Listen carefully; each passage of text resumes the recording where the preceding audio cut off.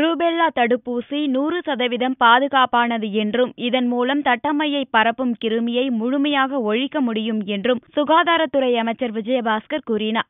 எண்பத்தஞ்சு லட்சம் குழந்தைகளுக்கு இதுவரை இந்த தடுப்பூசி போடப்பட்டிருக்கிறது.